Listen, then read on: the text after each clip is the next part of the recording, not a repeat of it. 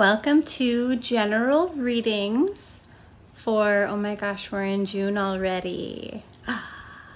Your money readings are going to look like this, and your love readings are going to look like this. And so you can be looking forward to those to come out throughout the month. So let's get started.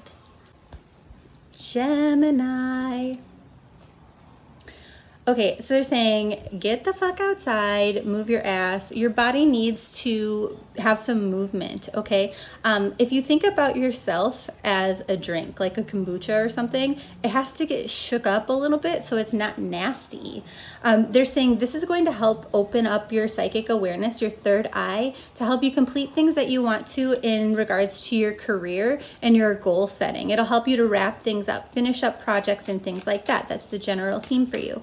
Now, the beginning of the month, they're saying um, there's going to be some honest conversations and a lot of truth that comes to light.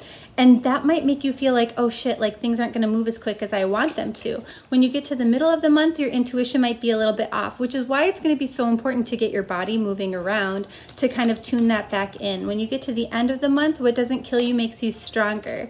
So the best part of the month is that, like, you know, like I said, the things that suck, the things that hurt us a little bit, what doesn't kill you makes you stronger, sort of stuff, they're all lessons. Like things can feel bad that happens to us, but nothing's really bad because we learn something from it. So, um, that's actually a good thing. And they're saying it's all about how you decide to view things, what mindset you decide to adopt. Okay, we can't control some things that happen to us, um, that happen in the world, but we get to choose our reaction to it. So the biggest challenge for you is going to feel balanced about this, to have one foot in reality and one in your emotions, but not to go totally you know, um, logical and planning and like what can I do and what can I control and then avoid your emotions, but not to sink entirely into those at the cost of everything else. So your crystal of the month, um, there's a blog post that looks like this that will explain how those can help you out if you have those at home. And I love you so much.